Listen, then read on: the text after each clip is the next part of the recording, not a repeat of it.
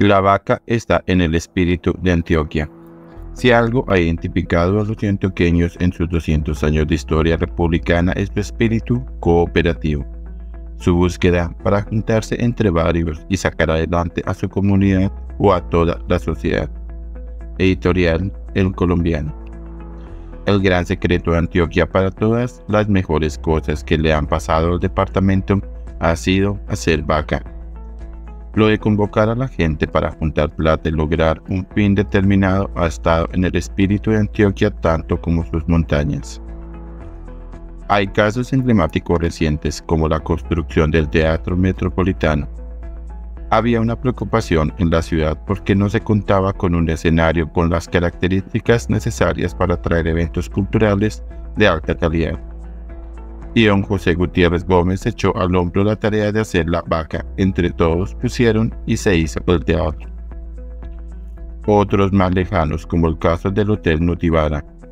En 1940 surgió la idea de construir una obra monumental para Medellín, y fueron muchos los que se metieron la mano al bolsillo para aportar a esa idea, que para entonces les parecía fantástica y en 1924, mientras desde Bogotá decían que conectar a Medellín con Urabá era descabellado, don Gonzalo Mejía creó la Junta Propulsora de la Vía al Mar y las mujeres dieron sus joyas para financiar la obra. Por no hablar de los aportes paisas en tragedias como la del terremoto de Haití, se construyeron 70 soluciones de vivienda. La del terremoto del eje cafetero, reconstrucción de un barrio en La Tebaida, y más recientemente juntaron 14 mil millones de pesos para atender el hambre que causó el confinamiento del 2020. Si algo ha identificado a los antioqueños en sus 200 años de historia republicana es su espíritu cooperativo, su búsqueda para juntarse entre varios y sacar adelante a su comunidad o a toda la sociedad. Y eso tiene una explicación profunda. La explotación minera tenía una forma jurídica particular que se llamaba Sociedad Ordinaria de Minas y estaba dividida en 24 partes. Por eso era casi obligatorio la asociación para poder lograr una acumulación primaria del capital y extraer el oro. Esa minería, que se desarrolló con trabajo asociativo, comenzó la construcción de Antioquia y la minería sirvió de plataforma para montar toda una industria del café Luego llegó el comercio y después dio lugar a la creación de diversas industrias. De hecho, una reciente investigación de la Cámara de Comercio y de EAFIT, dirigida por Rodrigo Puyo, sobre las sociedades comerciales de 1887 a 1960, evidencia con creces el espíritu de asociación regional. Para las empresas que se crearon en ese periodo de casi 80 años, el gran motivador era el interés de asociarse para generar riqueza y bien común. De ahí que Antioquia tuvo un modelo de desarrollo económico diferente al del resto del país, porque mientras en otros lugares las empresas familiares o individuales eran la norma, acá las sociedades eran por acciones o anónimas.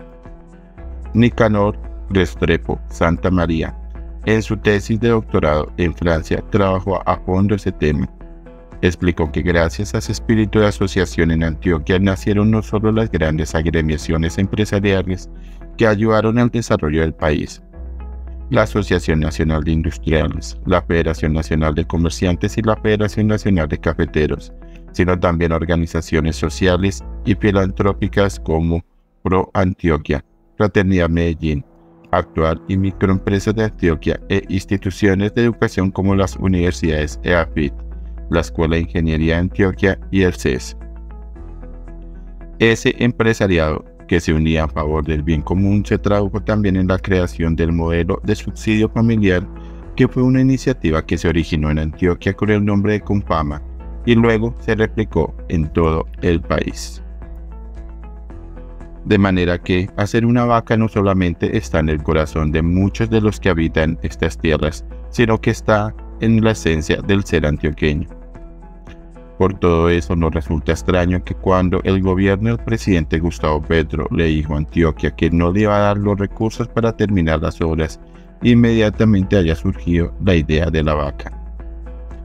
Tan cierto es que la vaca es el espíritu de Antioquia que Steven Pino, un obrero y campesino, víctima de la violencia que labora en el túnel del Toyo, cuando le contaron que iban a frenar la obra porque no había plata, se quitó el tapabocas y dijo que por un egoísmo político no se puede parar. El video que le grabó un compañero se hizo viral. Steven invitó a todos los antioqueños a aportar su granito de arena, con lo que pueda, y a no olvidar que el gobierno de Petro pasa en dos años y Antioquia sigue.